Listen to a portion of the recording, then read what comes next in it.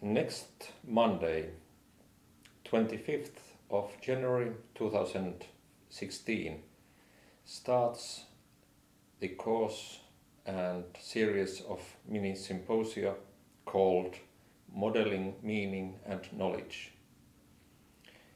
The idea is to bring together students and researchers who are interested in the questions related to meaning and knowledge from interdisciplinary or multidisciplinary point of view.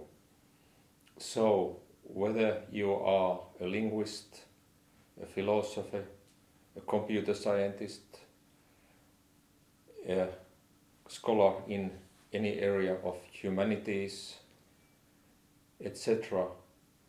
The idea is that you have a place to learn and to discuss aspects related to meaning and knowledge. This covers both theoretical, practical and implementational questions. So there are questions which have been dealt with in philosophy for hundreds or even thousands of years. On the other hand, there are questions related to the very latest developments within computer science and machine learning and areas such as brain research. The aim is not to trivialize these complex issues.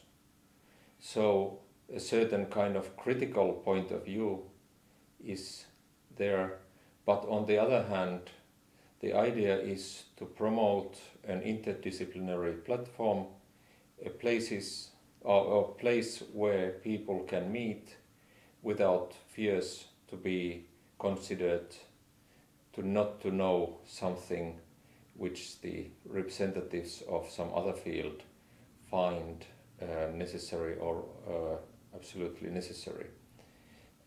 So multiple points of view are possible and therefore I hope that participants keep an open mind while they are attending the uh, occasions, these sessions. So without further discussion, uh, I welcome you all very warmly. Welcome to the uh, to this event and receive five. We, I'm looking forward to seeing you there on the place or virtually in one way or another. Thank you.